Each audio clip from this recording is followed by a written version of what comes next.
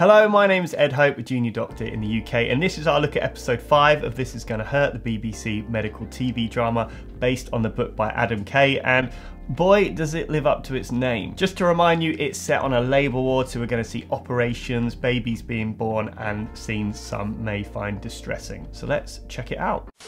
I, um, clearly should have been more specific. Could you please get me a urine sample? Oh, shit. Oh, what the frick? Another thing to file under things that didn't happen. I think there is enough drama in our jobs to not go as so low as to have a dude mistakenly give a sperm sample, then not put the lid on tight enough, and then spill it all over his mobile phone. One of the first clinics I worked on when I was on Obs and Gynae was the fertility clinic, and we would routinely require a sperm sample as fertility problems between men and women are pretty close to 50-50 despite this clinic being under the gynecologist. Oh. Yeah, black's pornography, I'm afraid. I wasn't looking up pornography. Political correctness gone mad. I'm trying to print out some past papers, but it's blocked the Royal College of Obstetrics and Gynecology website. Yes, a very real issue. In many ways, it's understandable that a large organisation like the NHS blocks a lot of stuff on the internet, but equally, sometimes you need to look up fairly dodgy sounding search terms when doing your research, particularly on obs and gynae. Still working here then? I guess so. Knew you would. So you're just gonna not let it get to you? Put up the old shields. Stiff upper labia, right? Oh my god, stiff upper labia. I'm much more comfortable sticking with the stiff upper lip phrase. And we saw a bit of this attitude in the last episode too. Don't let it get to you, basically putting the responsibility of a bad working environment onto you. So instead of dealing with the issues of why Dr. Shruti is clearly burnt out and reaching crisis point, she should just not let it get to her, or even maybe she isn't cut out for the job, like we heard in the last episode. Do we not want a good environment for healthcare staff and for staff to feel empathetic and able to do the job they're proud of? Or do we want people that can just turn a blind eye to the issues. That may work for some people in the short term, but in the long run, are you really going to get the best staff and the best care that way? Hi, I'm Adam. I'm one of the doctors here. Am I right in thinking you've had some bleeding? And it's um, not like a period? Has it happened before?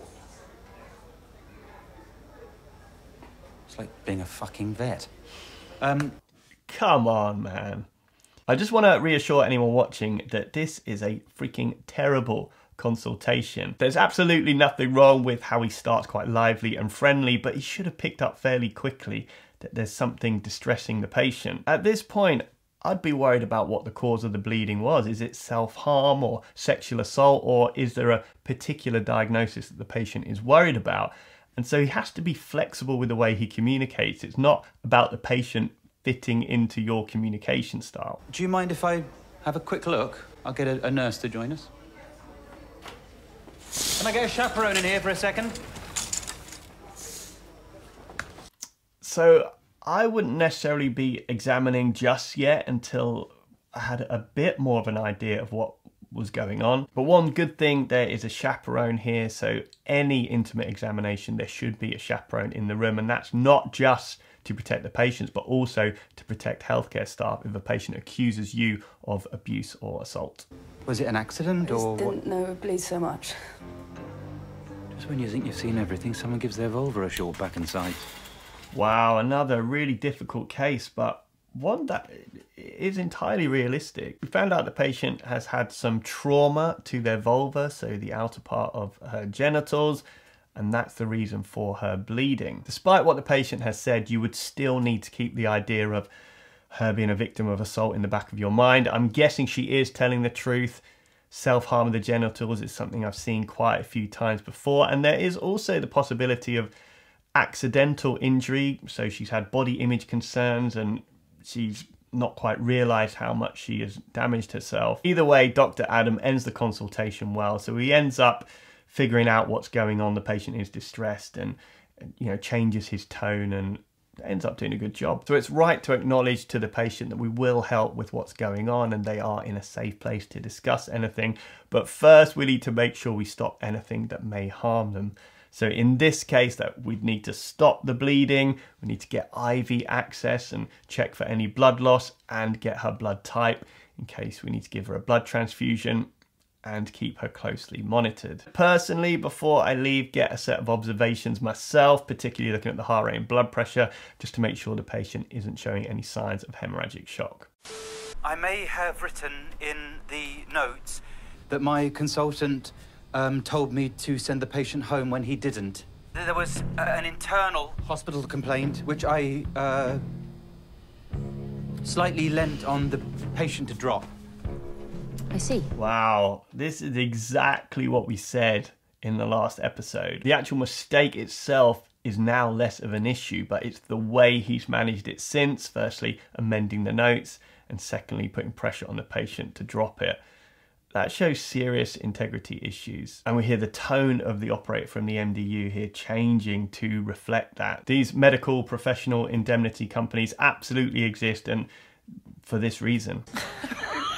I drank a jug of water overnight like they told me to. Do you mind if I have a gentle feel of your tummy? Ah, thought you'd never ask. God, what's wrong with this prick? Oh my god, man. Dr. Adam, he's completely lost it. I feel for the guy. You just hope that people get help before they get to this point. It's freaking sad because if you'd have met someone like Dr. Adam at medical school interviews, everyone is so optimistic and bright and positive and friendly, and it's a cliche, but they all want to help people. And somewhere along the line, you get this beaten out of you until you are someone that is the complete opposite to this and ends up directly damaging your beliefs of who you are. It's you know, a type of moral injury. Although, can I just say, the patient's partner here acting like the hospital is a playground. We do get this.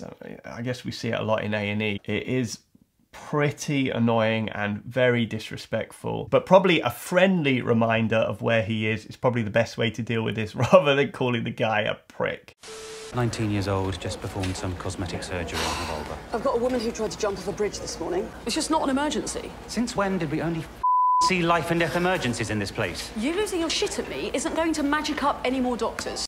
Okay, well, this is the sweariest referral I've ever seen. We went on to find out that the woman cut her labia as a result of body dysmorphia disorder, and Dr. Adam reassures her that everything to do with her labia was normal. So the help she really needs is to see a mental health expert, particularly now because she's now got stitches in that area. I've been in these exact situations before where you're speaking to a specialty about something that doesn't quite fit within the ordinary and therefore there's some wiggle room for the specialty not to accept seeing the patient. So this conversation here is entirely realistic. I will see her when I get two seconds. Thank you.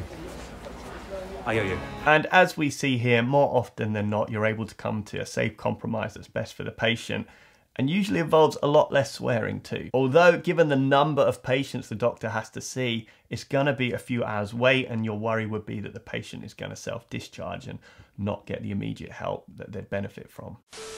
Now, I can't find a heartbeat, which means that your baby is no longer alive. No, I'm afraid it's unmistakable. I can show you the heart on the scanner if you like, but it's not moving. Um, in terms of which option you'd like to go ahead with. Oh, oh my god. Now Dr. Shruti has just completely lost her empathy and self-awareness. She seems completely oblivious to how the patients are feeling in front of her in breaking this bad news. Well, it might be easy not to think of it as a baby. It's just a bunch of cells.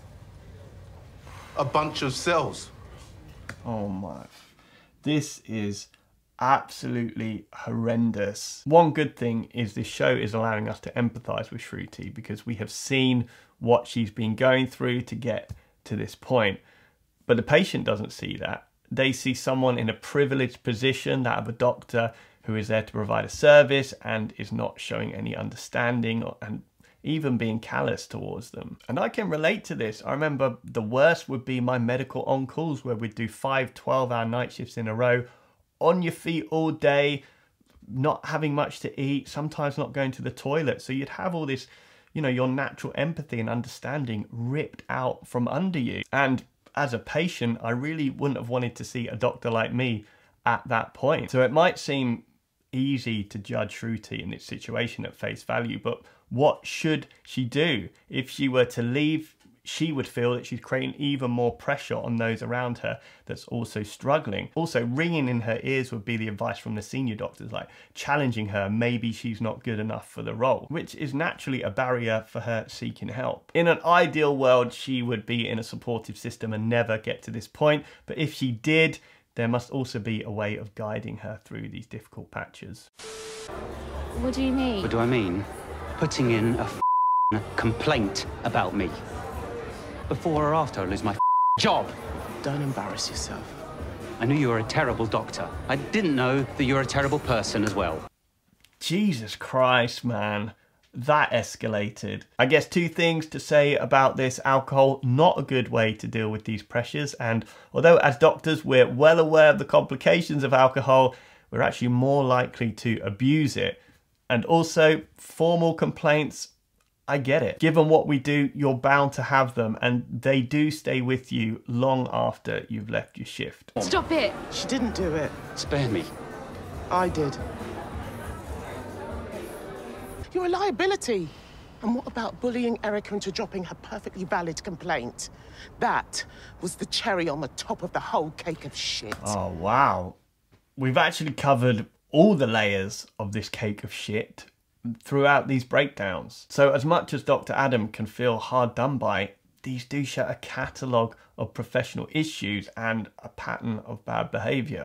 So there you have it, another roller coaster of a show. I mean, I say roller coaster, it's mainly just downhill. Also, the soundtrack in this series so far has been absolutely banging. I mean, this episode ending with Modern Romance by the Yeah Yeah Yeahs, great tune. I hope you enjoyed this breakdown and I'd love to know your thoughts on the episode or your thoughts on my thoughts on the episode. Thank you for watching this far. If you haven't already, please give this video a like and consider subscribing. It helps to tell YouTube that this is good content and also helps to inform me that you want to see more of it. So on that note, I hope you're all well and I'll be back soon.